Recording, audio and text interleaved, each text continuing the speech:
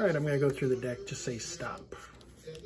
Right there, all right? I want you to remember that card and this card. So three clubs for you, queen of diamonds for you, right? And those are lost in the deck.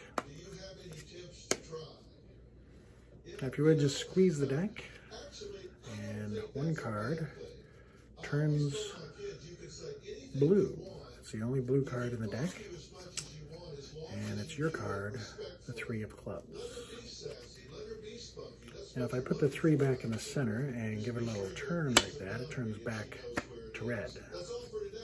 Now it's your turn. Just give Dick a squeeze and your card turns face up with the back.